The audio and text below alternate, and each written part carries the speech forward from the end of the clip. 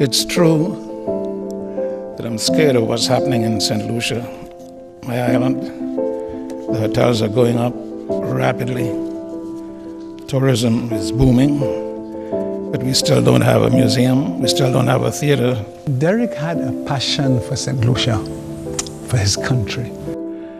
I watched the doomed acres where yet another luxury hotel will be built with ordinary people fenced out. He was very passionate about um, not turning all our beaches into hotels. And he has written so eloquently about the desecration of this island, the abuse of the island. The new makers of our history profit without guilt and are, in fact, prophets of a policy that will make this island a mall.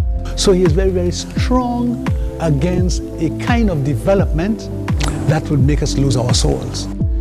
These new plantations by the sea, a slavery without chains,